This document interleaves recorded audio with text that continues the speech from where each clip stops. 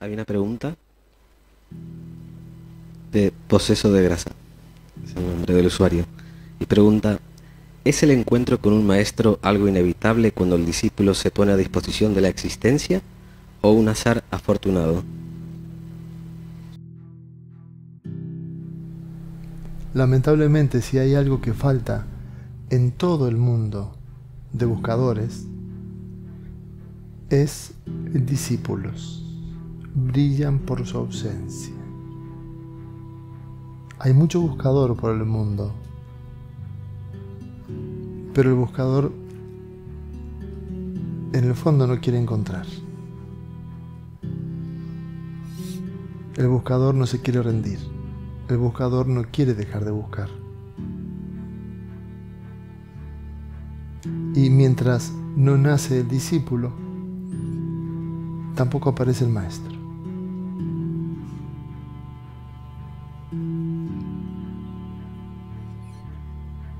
No es algo accidental, fortuito, ocasional. El maestro es una creación que surge del corazón del discípulo. ¿Y qué significa discípulo? Sabes que la palabra discípulo y disciplina vienen de la misma raíz.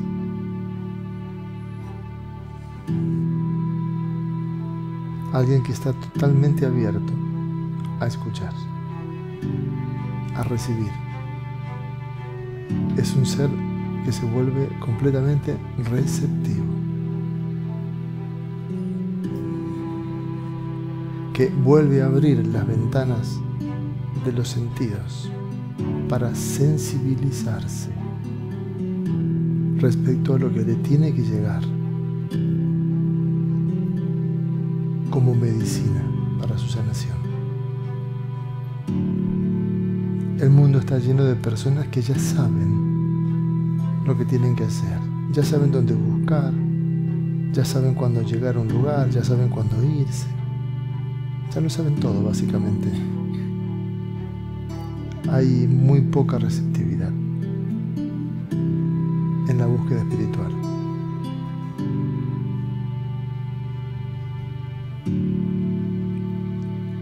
Por eso hay tan pocos maestros también. Porque el maestro es una creación colectiva, del egregor colectivo, de personas que están dispuestas a abrirse de verdad y de corazón, a recibir. Pero claro, es a recibir lo que tu mente no quiere escuchar.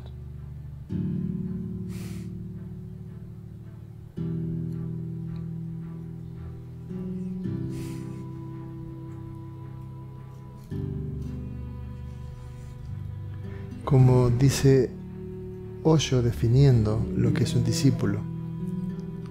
Él dice un discípulo es un útero, es un espacio en el que surge una nueva vida.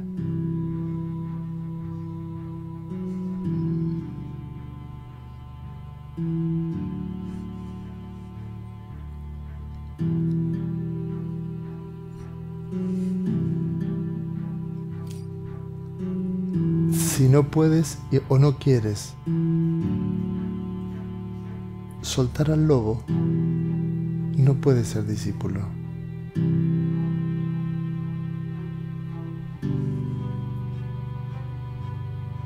Si estás agarrado a lo conocido, a lo que te interesa, a lo que crees que tiene algún valor, eso mismo te va a llevar a la muerte.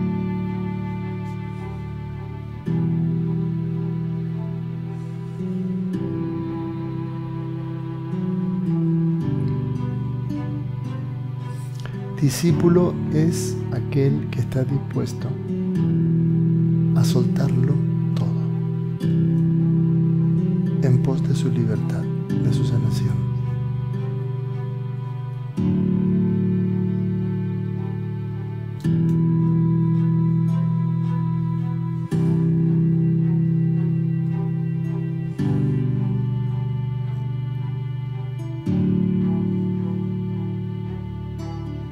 Solamente un discípulo puede decir sí auténticamente.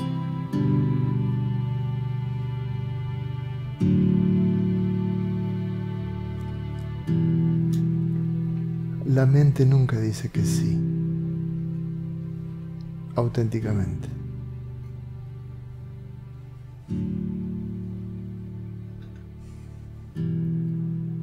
La mente solamente sabe decir sí, pero. El sí puro, directo a lo que llega de afuera, la mente no lo puede aceptar.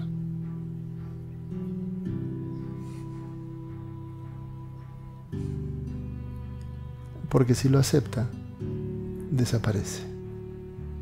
Un solo sí, solo un sí, auténtico, puro, sincero, que des a algo que llegue de afuera y que no coincida con lo que tu mente quiere. Un solo sí acaba para siempre con el dominio de una mente tirana que nos viene dominando desde siempre un solo sí. Sin especular, sin calcular, sin medir.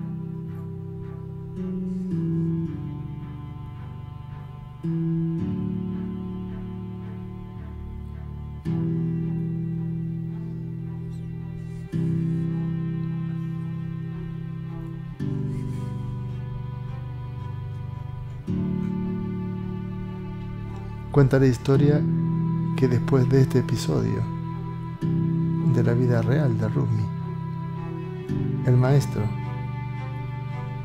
le dijo, hagamos un retiro de 40 días. Y lo único que dijo Rumi es, sí.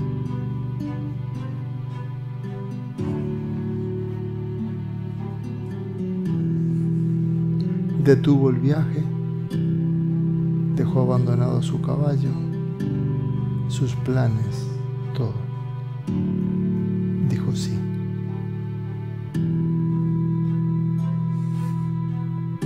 El secreto no estuvo en el maestro, sino en su sí auténtico.